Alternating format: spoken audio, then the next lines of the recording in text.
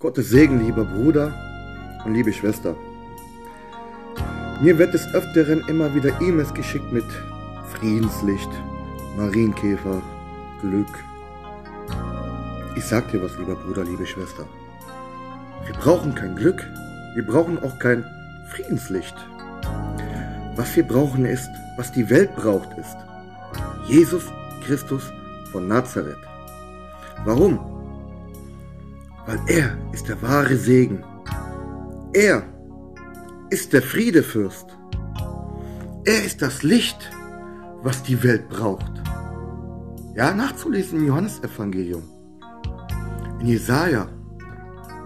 Wir brauchen kein Friedenslicht.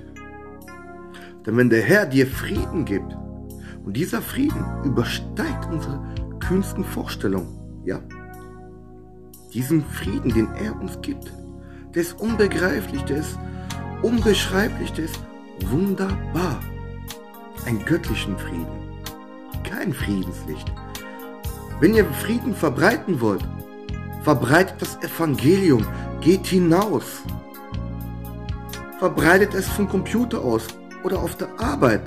Spielt keine Rolle. Hauptsache du verbreitest Jesus Christus, denn er sollte das Zentrum deines Lebens sein kein Marienkäfer. Tritt ich drauf, ist das Glück vorbei oder wie? Also, ihr versteht, worauf ich hinaus möchte. Darum, liebe Bruder und liebe Schwester, verbreitet Jesus Christus. Der Herr segne euch in Jesu mächtigen Namen. Amen.